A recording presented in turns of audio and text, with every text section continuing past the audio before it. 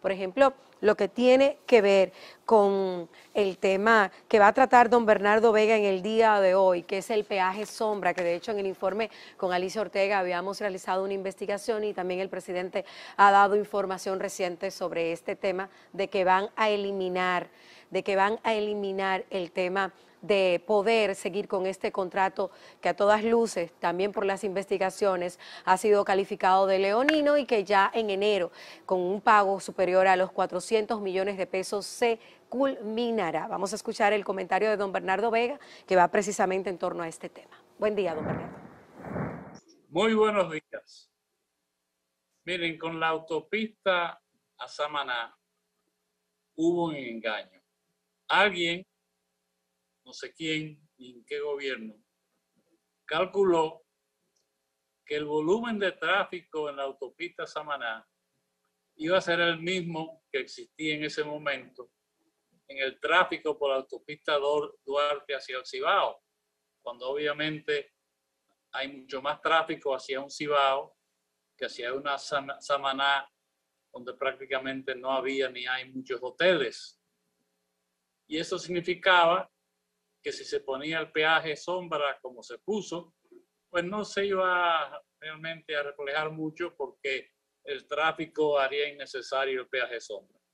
La realidad fue que hubo muy poco tráfico y el peaje sombra perjudicó muchísimo tanto al fisco, que tuvo que poner todo ese dinero, el peaje sombra, como a los consumidores y usuarios de esa autopista hizo muy bien el gobierno actual en terminar ese acuerdo y hacerlo de una forma amigable que no afecta la inversión, el ambiente de inversión extranjera, más cuando había tantos compromisos en ese contrato con organismos internacionales.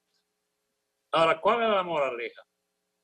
Que no deben existir nuevos contratos con peajes sombra.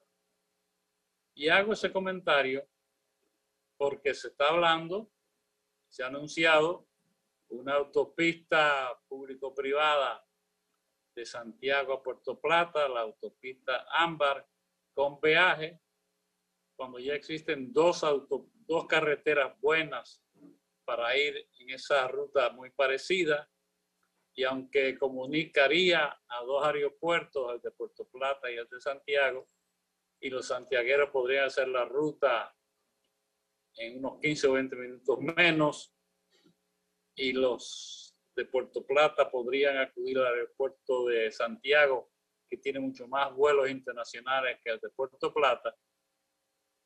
Otro tema es el anuncio de que el Banco Centroamericano de Integración, a través de una donación está contratando a una empresa de Corea del Sur para estudiar la viabilidad de un tren de Santo Domingo a Santiago. Bueno, lo que tal vez no sepa el Banco Centroamericano y sus ejecutivos es que hace ocho años nosotros publicamos en la revista La Lupa Sin Trabas el contenido de un estudio de viabilidad de un tren en esa misma ruta, preparado por la agencia francesa que ha, que ha vendido todos esos vagones de, del metro y que concluyó que no había ni carga ni volumen de pasajeros para hacer viable ese tren y que si se instalaba requería un gran subsidio del Estado. Eso porque las empresas de zona franca de Santiago y, y las que no son de zona franca prefieren exportar a Estados Unidos por la costa norte y más si viene el puerto de Manzanillo, pues economizan un día de transporte marítimo al hacerlo a través de Jaina o Caucedo por la península de Tiburón haitiana. Pero si lo hacen y dicen que es viable, por favor, que sea un proyecto del sector privado, un tren del sector privado que compita con las guaguas privadas y los camiones privados. Nunca un bendito subsidio del Estado o una empresa estatal que ustedes saben lo que ya eso significa.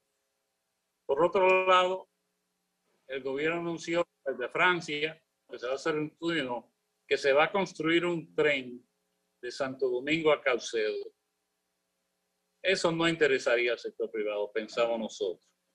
Por un lado, los pasajeros de ese aeropuerto con maletas difícilmente tomen un tren en vez de un carro público. Sí tendría la ventaja de que es una autopista de mucho tráfico y eso descargaría un poco el volumen del tráfico, pero implicaría un subsidio, entendemos nosotros.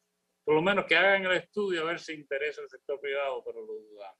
Finalmente, por favor, que no autoricen filmar películas en el Distrito Nacional en los días de Navidad, que suficientes problemas tenemos con el tráfico para que estén cerrando calles en, en lo que se filmen películas.